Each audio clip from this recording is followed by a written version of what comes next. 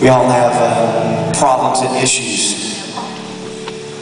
But friends, tonight, I got good news. Because we serve a God that's bigger than any problem or any issue we can ever have. Amen? A God that's always there for you. That will never leave you or forsake you. You know what? He's pulled me out of some messes in my life. And he was the last place I looked. When you feel like everybody's abandoned you and left you, Jesus is always there. Psalm 139, verse 7 8 says, Where can I go from your spirit? Where can I flee from your presence? If I go up to the heavens, you're there. If I make my bed in the depths, if you're going through a hard time, he's there. He always has been, he always will be. So if you're searching, search the Father. You'll always find him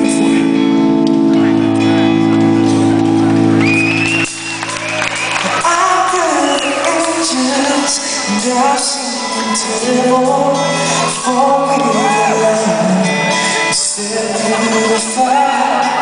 I've been in the valley it was the desert to the other side. And I'm